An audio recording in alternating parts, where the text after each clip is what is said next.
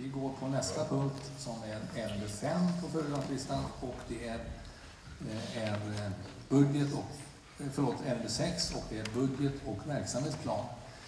Och då ska jag upplysningsvis här i inledningen säga att i juni månad har vi som regel att ta budget och eh, verksamhetsplanen brukar vi ta i november. Sen är det en ordning som man måste ha att det nya fullmäktige ska ta ett nytt budgetbeslut och där är vi nu idag. Och eh, de, de sakerna som vi ska besluta om det är eh, de politiska målen, eh, det är resultaträkning, det är balansräkning, det är fördelning av kommunbidrag och det är investeringarna, slutligen skattesatsen. Och Inför budgetarbetet så har förvaltningen arbetat med underlag, de faktiska underlagen för budgeten. Och även här ska jag be kommunchefen att göra en föredragning. Och den här, de faktiska siffrorna som ligger till grund för budgetberedningarnas arbete har presenterats och funnits tillgängliga för alla politiker. Så att vi ber kommunchefen att eh, göra en inledningsvis en dragning. Sen kommer och att lämna ordet till en företrädare för, för Alliansen och en för Socialdemokraterna, en för vardera budgetalternativ som föreligger i handlingarna idag. Som får max 15 minuter på sig. Jag antar att det kanske inte blir riktigt så mycket. Och därefter så kommer ordet att bli fritt. Varsågod Lasse. Tack så mycket. Ja, jag vill börja med bilden om den senaste eh, siffrorna vad gäller standardkostnad. Och eh, standardkostnad är ju det ligger till botten för det utjämningssystem som finns i de 290 kommunerna i Sveriges rike. Och här gör man alltså en bedömning vad saker och ting får kosta och man får då pengar i förhållande till det. Och det är det, är det mest beforskade systemet man har idag och eh, som som alltså är väldigt viktigt för oss, för det är det som avgör hur mycket pengar vi betalar eller hur mycket pengar vi får i utjämningssystemet. Och då är det gröna, det är Vårgårda. Här ser vi då barnomsorg. Där kostar vi ungefär numera det vi ska. kosta. då noll är alltså det som, räk, det är det som vi beräknas att kosta. Vi ligger lite högre. Här har vi grundskolan. Då kostar vi lite mindre alltså, än vad vi egentligen borde kosta. 2,4 procent. Gymnasieskolan ligger på 0,6 procent, alltså i närheten av noll. Och här har vi då äldreomsorgen som då ligger på 21,7 procent över.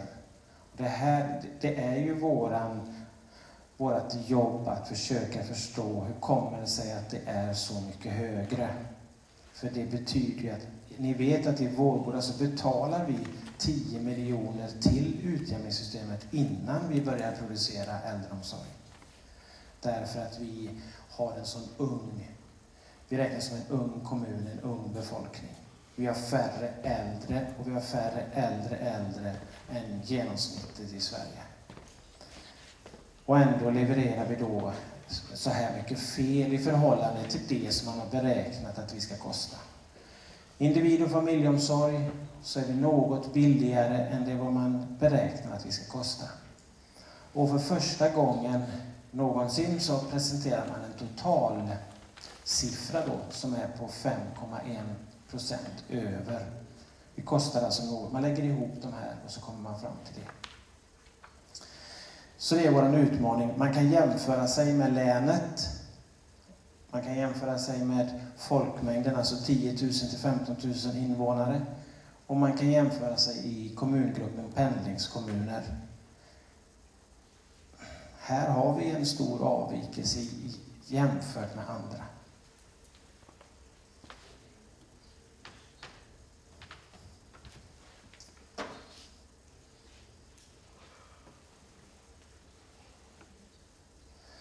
Sen har vi då gjort en, en jobbat hela hösten här sedan budgetbeslutet, det första i juni månad. så har alltså förvaltningen jobbat med internbudgetar, precis som vi ska göra efter ett beslut för att kunna se hur det, vad som kommer att hända inför nästkommande år. Och då är vår bedömning att eh, det saknas, vi, vi kommer att eh, Eh, behöva mer pengar än vad vi har fått i budgeten. Och då ska jag kort redogöra för skillnaderna. Här har vi en liten summa. Det är Räddningstjänstförbundet som då tar sin budget i juni månad när vi redan har haft vår budgetprocess.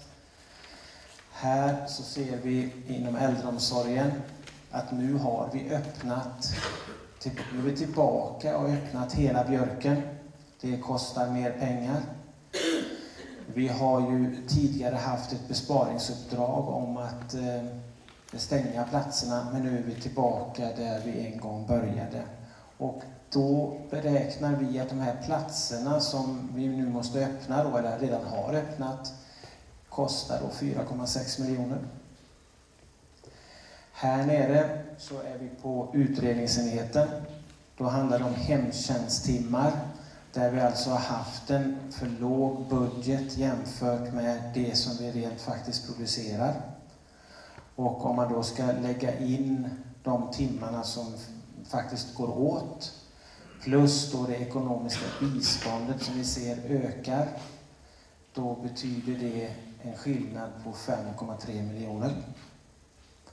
Och summa summarum så hamnar vi då på att förvaltningen säger 10,551 saknas för att få en budget i balans.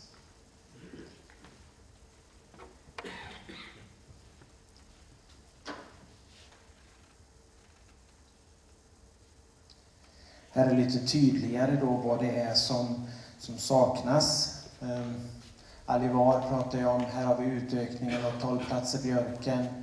Besparingsuppdraget var på 4 miljoner, vilket nu då är, är inte möjligt att genomföra. Hemtjänstavgifter får vi in 700 000. Utbildning av VIVA är ju strax färdig. Och här utredningsenheten då, hemtjänsttimmar, det är 5,1 miljoner. Ekonomiskt bistånd 2,4 miljoner. Och sen har vi lite intäkter på en miljon där och från sektorschefen som hade centrala pengar eh, finns det intäkter där då. Men summan är på det. Det är förklaringen till de avvikelser som blir då 10,5.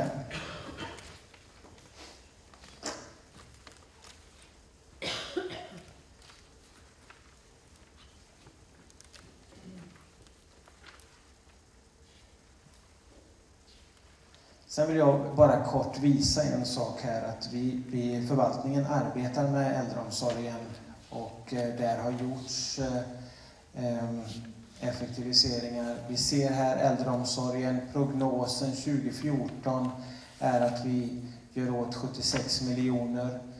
Prognosen för 2015 är då att vi landar på 72 miljoner. Inklusive det, den höjningen vi ser måste göras. Allra sist vill jag peka på ett område som jag tror vi pratar lite för lite om.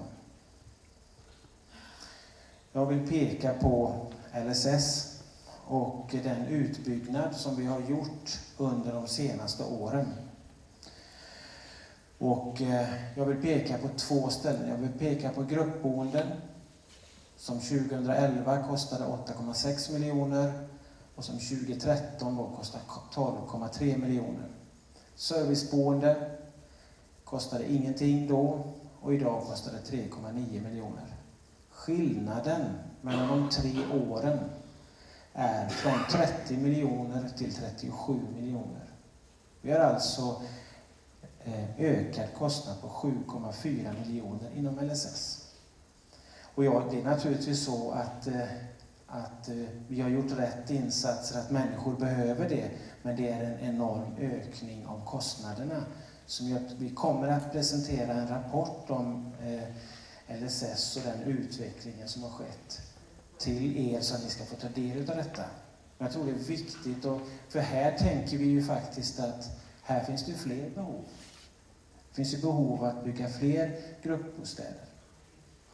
Och eh, det är viktigt att ha med sig det här i tanken. Vi har utmaningar, inte bara inom äldreomsorgen utan också inom funktionshindersdelen.